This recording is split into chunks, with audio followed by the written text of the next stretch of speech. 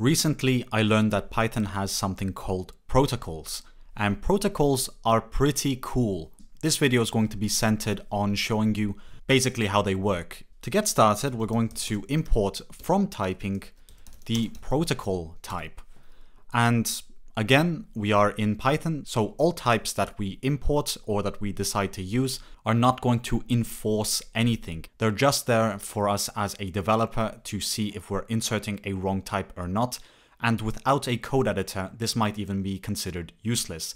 So if you're using a code editor such as PyCharm or Visual Studio Code, this can bring a lot of benefit to your code.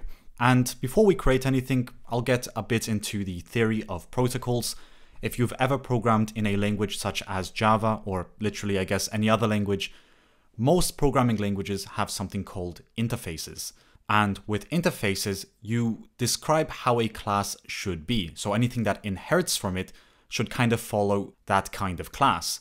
So for example, if you have a class called fruit, and the fruit has a function that's called eat, I don't know why, but the fruit will eat itself, and we'll just pass here. If you have a class like this and it has this function and someday you want to inherit from this and you say class banana and you want it to follow the guidelines of fruit, usually you would use an interface for this. So what an interface would do is ensure that we use that method inside our banana function because we are following the fruit interface. And if I remember correctly, in Java, your code won't even compile if you do not follow the interface if you've defined one. And I feel like I explained that really poorly, so I might as well just create an example using the protocol so you have a better grasp on what it does. So in this example, we're going to create something called printable, and this is a protocol. So we're going to put that in there. And now what we're going to do inside here is create that interface. We're going to create that outline for everything that should conform to the printable protocol. So for example, everything that's printable will have pages and here we'll just say it's of type integer and this will be a class variable. And then we will also have some methods that should be required such as print because you want to be able to print that printable whatever. It could be a newspaper, it could be a book. And we'll just insert pass here. And we also want to be able to recycle this stuff. So we will also have something called recycle and we want that to be part of this protocol. So what did we do here? Nothing yet. We just created the guideline of what all the classes that conform to this protocol should look like. So what we're going to do next is say, okay, here's a class called book. And if we want it to conform to the printable protocol, we're going to have to make sure we have all of this inside book. We can even have more than that, but this is the minimum that we need to have inside book. So let's do just that. We'll say that it has some pages of type integer, whatever. We need to make sure we have that. Then we can also add some extra functionality such as an initializer. And we'll say that this book has a title. So here we'll type in title of type string and self.title is equal to title. And we will implement that print method. So def print and all we're going to do is print inside print. And actually, I don't really like this practice of naming it functions that already exist in Python. So we'll just say print item, and we'll do the same thing down here, print item, just to make sure we never shadow this. I know we're inside a class, so that's not going to happen unless we use self. So we're going to scrap the print idea and we're going to call it print item.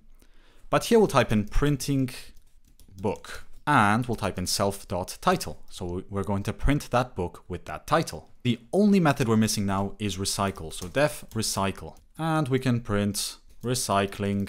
I will add the self.title again, and we will turn that into an f string. So we have a book that conforms to this protocol.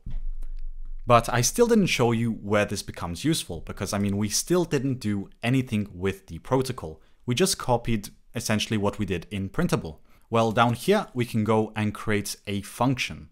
And now this is where it becomes interesting. So we'll create this function that says print printable, as funky as that may sound, and that's going to take a printable of type printable. So now we have a parameter that takes this protocol as a type.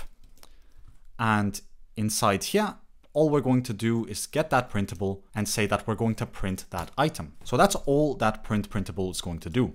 Now let's create an instance of our book. We're going to say book of type printable is going to equal a book that says Python. So far, so good. We're not getting any complaints from our code editor. All the types are working quite nicely. And right below that, we can print this printable, which will be the book. And if we actually print all of this, we will get the output of printing book. So that was pretty cool. Everything's working as it should. Although what was the point of making printable when you could have just said of type book? Well, let's suppose we have different classes and we want to be able to print printables. So in this example, I'm going to insert a class called magazine and it's just going to take a title. I'm not going to implement any of the methods that are required by the protocol of printable. We're just going to put this initializer and that's all it's going to do. So right below book, we're going to create a magazine of type printable and that's going to equal a magazine. And here we'll say, okay, we're going to call this Pythonistas. That's going to be the name of the magazine. Immediately, we're going to get a complaint from our code editor that we put a magazine inside there instead of a printable. So that's already a major difference between book and magazine. The printable protocol worked for book. As you could see, we have print item, recycle, and pages, and book has pages, print item, and recycle. And you can insert whatever else you want, but that's the minimum a class must have to be considered printable. Magazine has none of that. But we can easily fix that by saying pages of type integer, and we'll just print all of this. We'll just copy that, paste it under, and say printing magazine. So we implemented everything that's required by the printable protocol to be considered a printable. So now if we go down to magazine, you'll see magazine of type printable, is a magazine of Pythonistas and we'll get no complaint there. We're conforming to that protocol. And just like earlier, we can print this printable and we can insert the magazine. And this time it will say printing magazine Pythonistas. And as I mentioned earlier, you can add as many methods as you want on top of this. You can say def hello. I don't know why, but the magazine will say hello sometimes.